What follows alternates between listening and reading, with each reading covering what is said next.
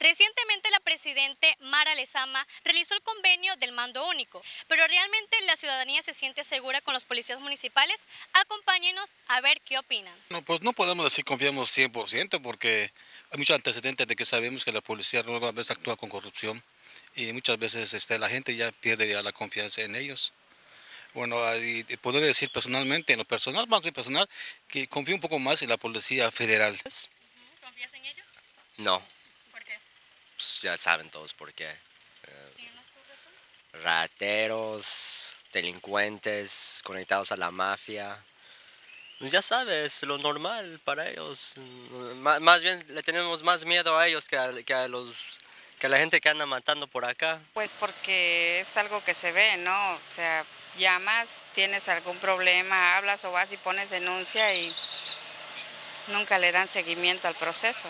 A mí ya me pasó. Mm, Yo no, mi esposo. A mi esposo este, un vecino lo lastimó, fue y puso demanda y jamás hicieron nada, nunca. Y si lo hubiera matado, pues Es que son bien ratas, la neta. Pues cada vez que te ven en la calle que andas así, este, no sé, que ya te ves sospechoso y ya te empiezan a, te levantan. Ya, ya me ha pasado varias veces. Más cuando es quincena. Más nosotros que salimos tarde, como por ahí de las 12, 1 de la mañana. A veces me lo, me lo encuentran y me dice revisión y que no sé qué. Y ya pues este, le digo, no tengo nada, vengo del trabajo. No, eso a mí me vale, vas para arriba.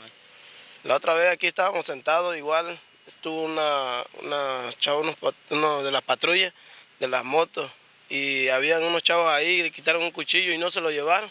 Y nosotros estábamos sentados ahí, todos mis amigos lo vieron, y en vez que se lo hubieran llevado, no, pues vamos a ver que eso sí se lo deben de llevar. No a uno que anda trabajando, anda buscándose la vida para mantener a su familia, para sobrevivir, ¿no? Ellos sí lo deben de tratar mal, no nosotros. Hola, ¿qué tal amigos de Cancún Channel y Contrapunto Noticias? Como pudieron ver y escuchar, la mayoría de los ciudadanos cancunenses no se sienten seguros y conformes con los policías municipales. Seguimos con la programación.